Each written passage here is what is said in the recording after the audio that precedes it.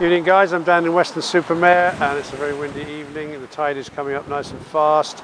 And if I'd like to show you phase one, which is the red hoarding over there, which is the Royal Pier Hotel site.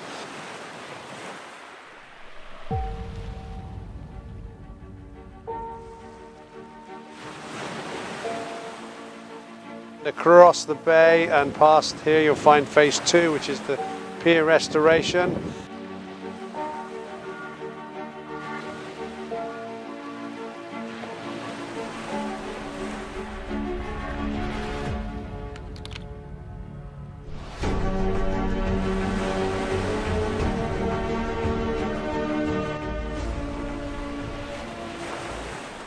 And then go to phase three, which is over to the right again.